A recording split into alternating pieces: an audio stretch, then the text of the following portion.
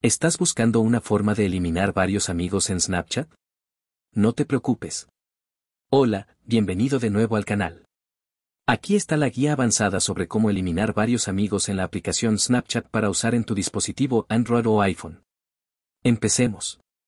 Abre la aplicación Snapchat y pulsa en el icono de tu perfil en la esquina superior derecha y pulsa en el icono de tu perfil en la esquina superior izquierda de la pantalla. Desplázate hacia abajo y toca en Mis amigos. A continuación, busca al amigo que quieras eliminar.